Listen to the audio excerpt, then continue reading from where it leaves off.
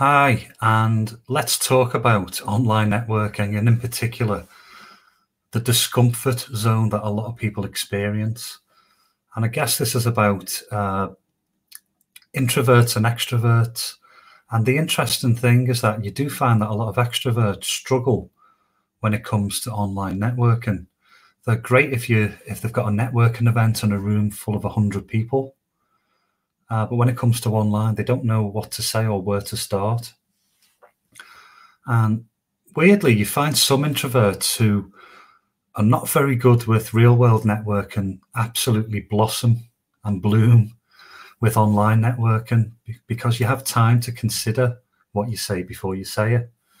And I mean, this video is about WhatsApp groups, really. Uh, and it's about those fears and it's often the starting point of knowing what to say is the issue, whether you're an introvert or an extrovert sometimes. Uh, so, how can we overcome those fears so that you become comfortable? Well, like anything, it's to do with taking the plunge and actually giving it a go to begin with. And if you do that without even realizing it, you can become quite comfortable with it. And I'll show you how to do that. It's really simple. Well, the starting point, and I'm, I'm going to talk about our, our WhatsApp groups, the linked online WhatsApp groups. We have a daily conversation. So all you have to do is ignore the rest of the chat in the group. And to begin with, at least, just focus on answering the daily conversation topic. Give us your your opinion on that, because that's what it's all about. It's the daily conversation. That gives you, you don't have to think about what to say. We'll do, we've done the thinking for you. Uh, the other thing is Marmite. Uh, this is a kind of a, I think it's a yeast extract product, kind of a beefy type taste. For those who don't know, you spread it on breads, and some people either love it or hate it. And they did a really great marketing campaign, and it's Marmite has come into common everyday use, at least in the UK.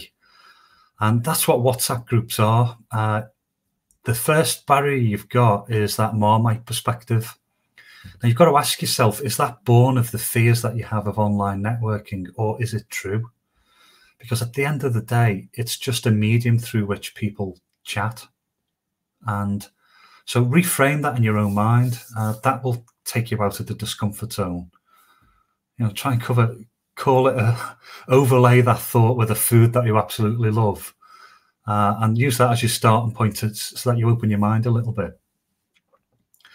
Now, one other issue is that when you do give it a go, you you post your take on that particular topic, and you won't always get any response from anybody.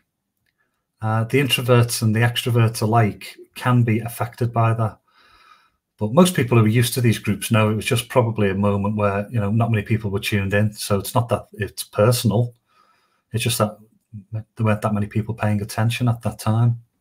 So one thing you can do is add a question to your uh, contribution on the daily conversation topic. So you can answer that and you can say, right, okay, well, this is what I think about this particular topic, and then go and detail it and just add a simple question at the end. Does anybody else feel the same way? Something like that. That increases the chance of a conversation starting with you being in it. Uh, and that's where you start to slowly move out of your discomfort zone and into a comfort zone because we all like to be heard, don't we? And if you do this, don't give up after one attempt. It's like uh, having one driving lesson taking your test and failing, think, okay, well, that's it. I'm never going to drive. You've got to keep on trying. You've got to have more and more lessons. And the more you do it, the more comfortable you become with it. There's a couple of other points which are worth mentioning. Uh, mute the group. Don't have it pinging away all the time, particularly as people from different time zones get active in the groups, as they now are. Uh, so mute it. The other thing is if you open the group and there's like 300 messages, just scroll right down to the bottom. Uh, join the conversation where it's at. As Pam has said before elsewhere, uh, you don't go to a networking event 10 minutes late and then you go around the room saying, Can you tell me everything you've spoken about before I arrived? You don't do that. So don't do it in a WhatsApp group. Just reframe what you think a WhatsApp group is. It's just a place where people talk. So don't feel as though you've got to read everything. If anything, just go back to about between 7 and 9 a.m. each morning. That's when we post the daily conversation topic. Do that, and you are networking. You've made a contribution. You've escaped your discomfort zone. And isn't that easy? Somebody poses a question, all you got to do is answer it. That's networking. That's online networking. So daily versus infrequent. If you never take part in the conversations, uh, you're not going to get as much out of it, quite frankly. So try and do it as often as you can. Some people do this daily. Some people get busy, so they have a couple of days off. That's fine. You won't be forgotten completely.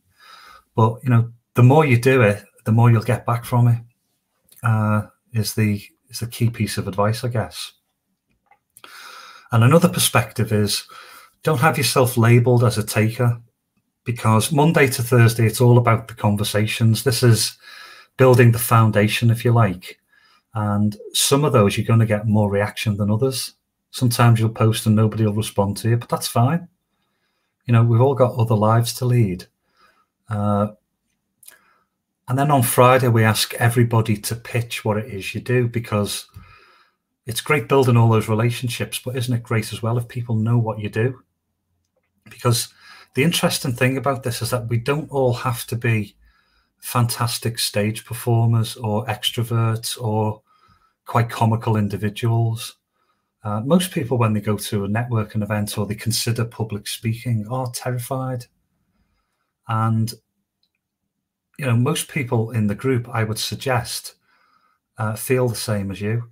You don't have to be the most sparkling personality to actually resonate with other people who are like you.